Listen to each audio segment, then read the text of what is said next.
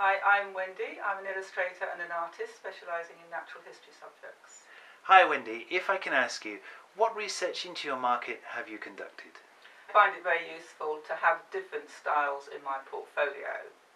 Uh, if a client gets in touch with me, I usually do some research into what they produce, how they produce it, um, and they either talk to me, I go in to see them. I find uh, networking with other illustrators very important because we can find out the market rates uh, because they can change and they vary between clients.